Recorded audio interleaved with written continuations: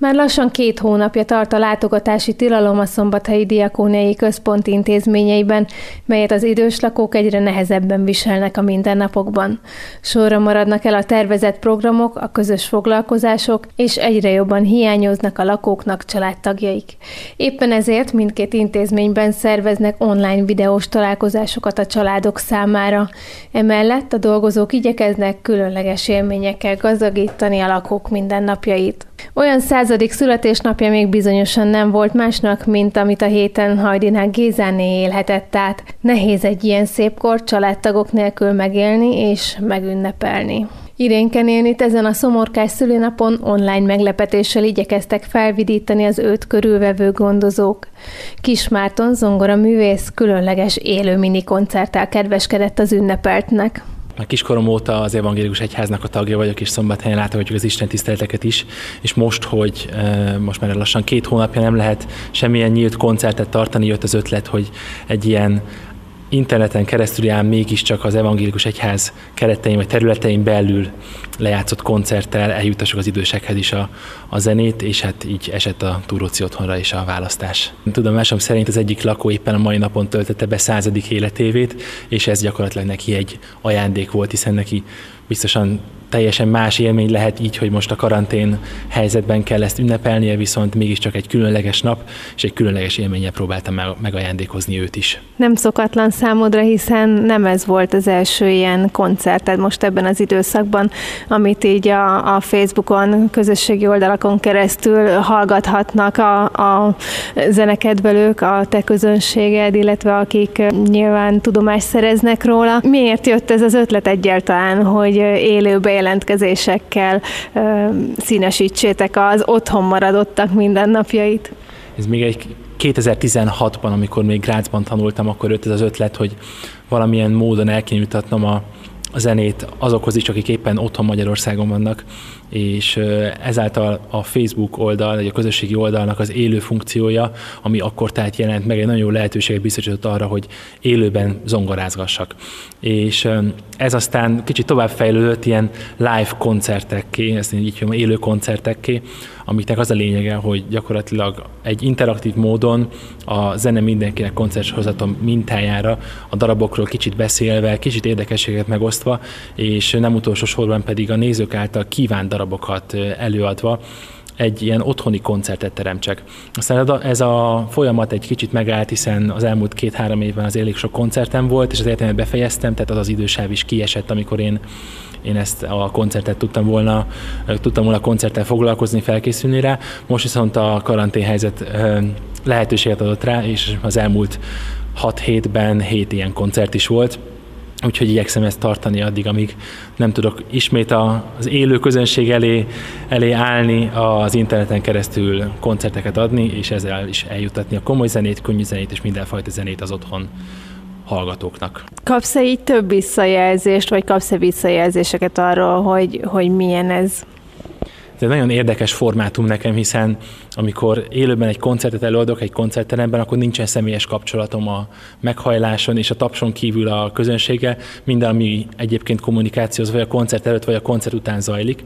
Itt viszont a cseten keresztül rögtön látom azt, amit írnak, hogyha esetleg kérdeznek, vagy megosztják más ismerősökkel, barátokkal, én a rögtön értesülök, és ez egy egyfajta olyan interakciót ad a koncert közben is, ami egyébként az élő koncerteknél nem elképzelhető.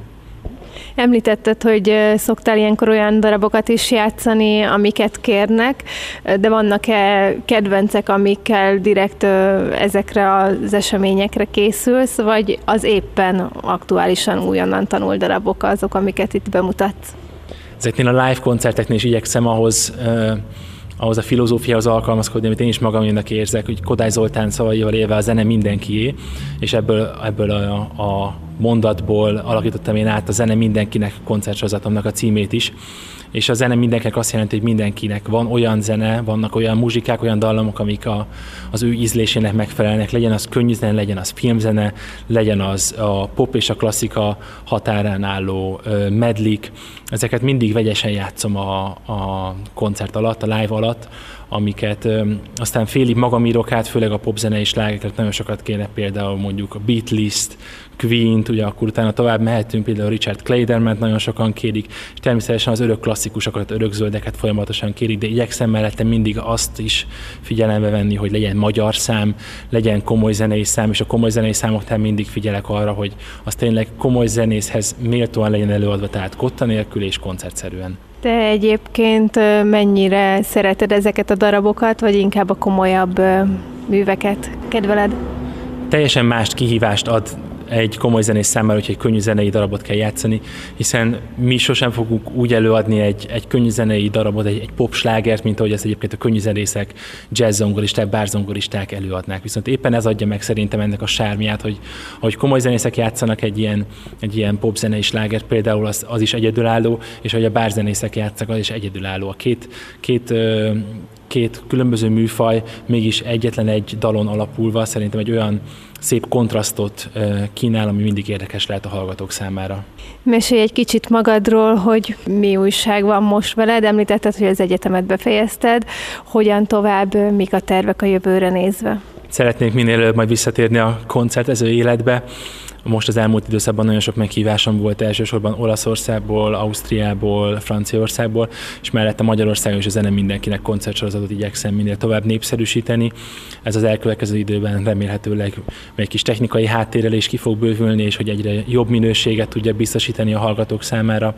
Emellett természetesen tanítok, ahogy nagyon sok zenész kollégám is két helyen is a Szombathelyi Művészeti Szakgimnáziumban, és Grácsban a Gráci Johann József Fuchs konzervatóriumnak is tanára vagyok, úgyhogy zajlik az életem, nem panaszkodok. Igazából egy kicsit jól is jött ez a, az egy hónap szünet, de most már azért vágyom vissza a, az emberek közé, a gyerekek közé, hogy átadhassam a tudásomat, és hogy élő zongora szóval boldogíthassam mindenkinek az életét.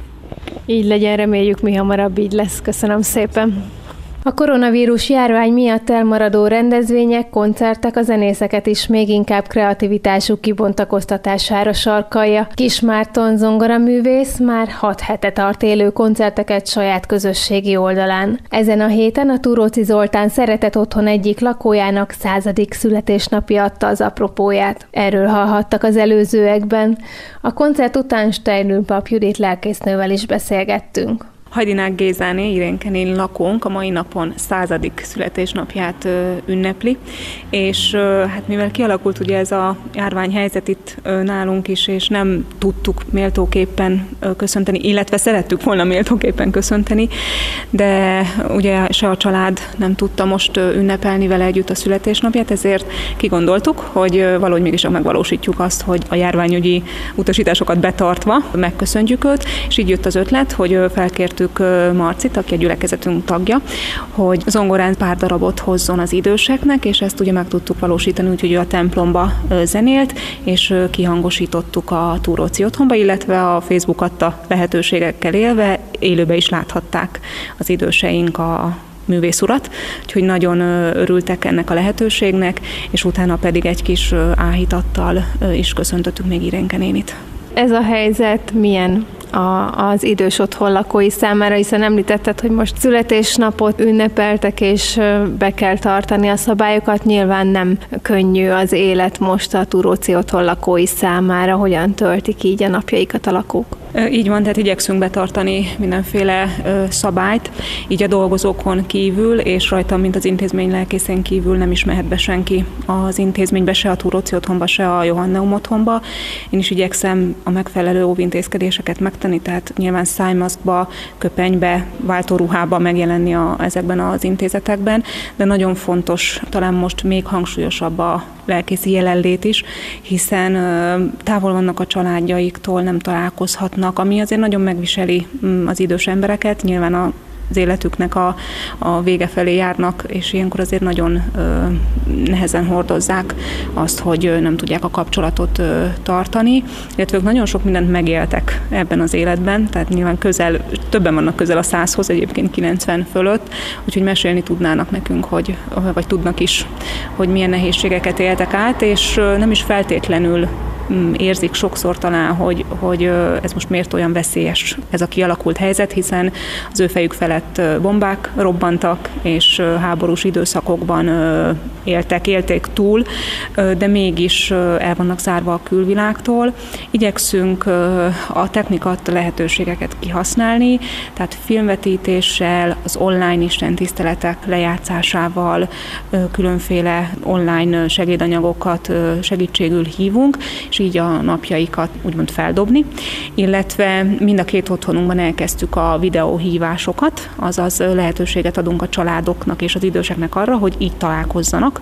Tehát meg, megbeszéljük mindig az időpontokat beosztás alapján, és akkor tudnak úgymond élőben beszélni az unokákkal, gyerekekkel, dédunokákkal, és ez nagyon, nagyon fontos számukra, illetve a családtagok számára is én ezt tapasztalom itt az elmúlt hetekben, és számukra meg egy érdekes tapasztalat egyébként, mert először nem nagyon értették, hogy miről beszélünk, hogy akkor most ők találkozhatnak a számítógépen keresztül, de belejöttek. Tehát, hogy, hogy élnek ezzel a lehetőséggel, és tényleg odaülnek a számítógép elé, vagy épp a mobiltelefonjaink elé, és akkor felveszük a kapcsolatot a családokkal. A lelki pásztori beszélgetések nyilván ebben az időszakban mondtad is, hogy hangsúlyos szerepet kapnak, élnek a lakók ezzel a lehetőséggel, igyekeznek megkeresni, felkeresni téged? Inkább én keresem fel őket, tehát hogy így, így ugye az intézménybe, ha bemegyek, akkor igyekszem mindenkivel pár szót váltani, illetve információt kérni a nővérektől, az ott dolgozóktól, hogy ki az, aki, mert nyilván ők vannak köztük ö, többet, hogy ki, kit látnak úgy, hogy neki most fokozottabban szüksége van arra, hogy, hogy beszélgessünk. Örülök neki, hogy most már azért jön a jó idő, mert én is jobban érzem magam úgy, hogy, hogy kint tudunk lenni a szabad levegőn, tehát nyilván nehogy bevigyünk valamit az otthonba, de, de az ember próbál odafigyelni a, az óvintézkedésekre. Századik születésnapját ünnepelte a héten a Túróci Zoltán szeretett otthon lakója Hajdinán Gézáné. Bár Irénke néni a családtagjaival nem találkozhatott személyesen ezen a napon, az otthon dolgozói igyekeztek emlékezetessé tenni számára a kerek születésnapot. Kis Márton zongoraművész tartott az evangélikus templomban élő minikoncertet, melyet az ünnepelt és az otthon lakói a művész közösségi oldalán hallgathattak meg. Irénke a Krédó Rádió stábja nevében is azt kívánom, Isten éltesse még nagyon sokáig. A koncert felvétele elérhető az Egyházközség közösségi oldalán, és hallható lesz itt a Krédó Rádió hullámhosszán is.